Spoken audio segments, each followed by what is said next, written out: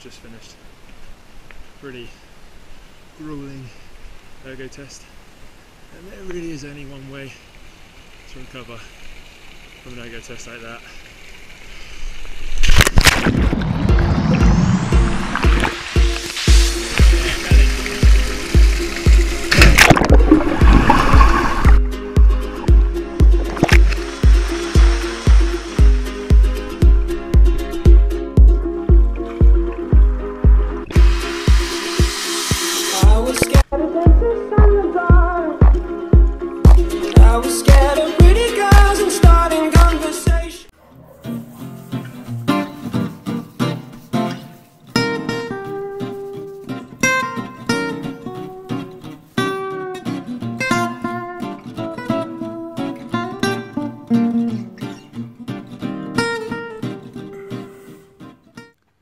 Hi guys, welcome. Today is another half day out here in South Africa. We've just finished another ergo test, and as with all half days, we like to spend it either recovering or checking out the local area. Uh, as this is a camp we only come on once a year, thunderstorm, it is nice to get out every once in a while, see the local community, check out the shops. So today we're going to go to Harrie's Pancakes.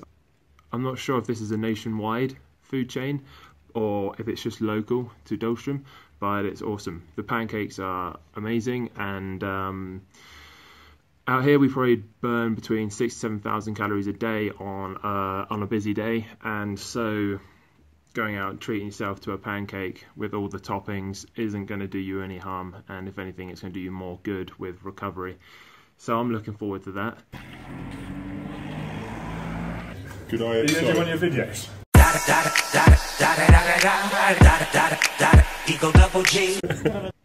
On the way back from Harrie's Pancakes, there was uh, a nice a nice fella on the side of the road. He was selling a lot of fresh fruits and vegetables. His um, his main produce was mangoes, and it's ridiculously cheap.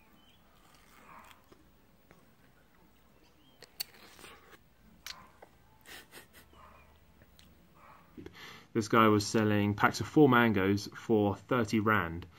Um, over here, I think the currency at the moment is 24 rand to a pound, so that works out about one pound 20 for the four mangoes. And um, yeah, that that will keep me going for the rest of the camp, I imagine.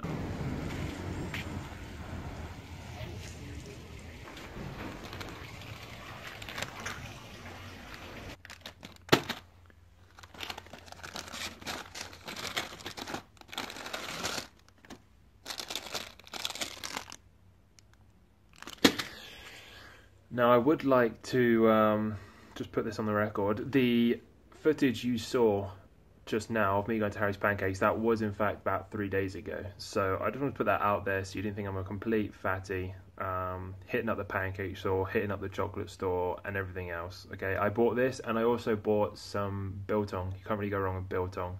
But that's it for this vlog. I do hope you enjoyed it and um, hope you enjoy the little time lapse to finish it off.